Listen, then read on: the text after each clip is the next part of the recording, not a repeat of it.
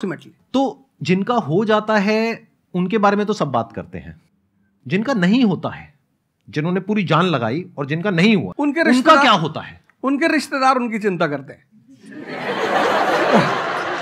वो वो फिर उनकी चिंता करते हैं। मैं एक नहीं नहीं मैं आ रहा हूँ मैं आपके क्वेश्चन पे आ रहा हूँ। ये पॉइंट इंटरेस्टिंग है मैं समझना चाहूँगा कैसे? मैं, मैं बता हूँ। हाँ। मैं दोनों मुद्दों पे बता हम सब हारने से डरते हैं।